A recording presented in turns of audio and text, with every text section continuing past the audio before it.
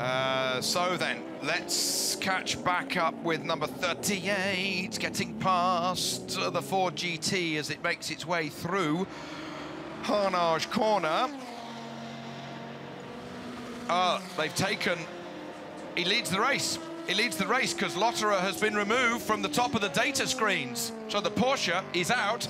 This is the leader of the 24 hours of Le Mans with three hours remaining. I've seen some drama in motorsport.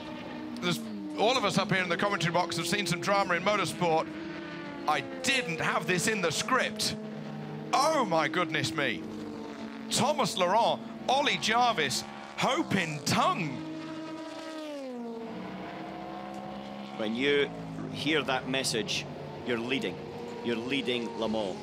Then there is definitely going to be a surge of adrenaline goes through that lad's veins when he crosses the line in about two seconds time as he goes now he's officially leader of the Le Mans 24 hours. You see 316 laps two laps ahead of Mathias Beche in the Rebellion LMP2 car and then another two laps back uh, to then third place Brendan Hartley. Who is on the podium who is on the podium